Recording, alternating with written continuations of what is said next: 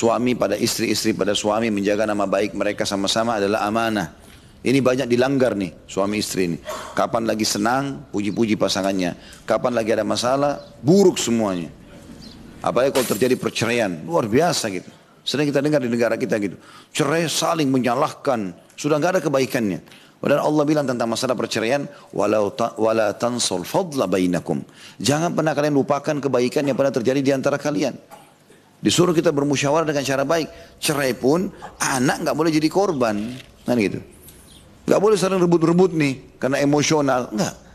Kita punya masalah dengan pasangan antara kita sama dia. Tidak ada hubungannya sama anak-anak. Ini enggak, anak-anak diambil, enggak boleh ketemu ibunya karena hak asuh jatuh pada ayah. Atau si ibu ambil anaknya, enggak boleh hak asuh pada dia. Enggak boleh ketemu ayahnya. Ini haram semua dalam Islam.